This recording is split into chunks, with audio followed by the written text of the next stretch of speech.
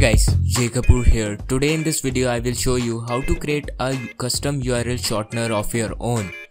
So the final result will be like this. Click on the first link in the description that will take you to GoDaddy. You have to buy a domain. You can buy any domain but just remember one thing the name should be short. For example I have bought this domain. After you have bought the domain, now go to bit.ly.com and sign up there. Now click on this fish icon and go to profile. Now verify your email. Now go to advanced tab and click on activate branded short domain.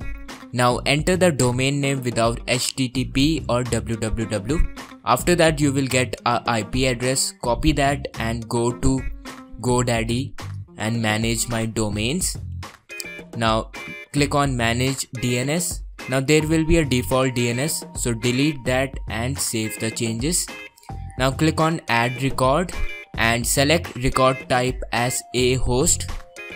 Now in the host type at the rate and and in the point to field paste the IP address. Select TTL as custom and type 600. Click on finish and save changes. Now wait for like 10 to 15 minutes. It can take up to 48 hours but just wait for 15 to 20 minutes and click on verify. Now it's done. Now go to bit.ly homepage and paste any link as you can see that it is using our custom branded URL. Click the red subscribe button to get more tips and tricks and I will see you in the next one.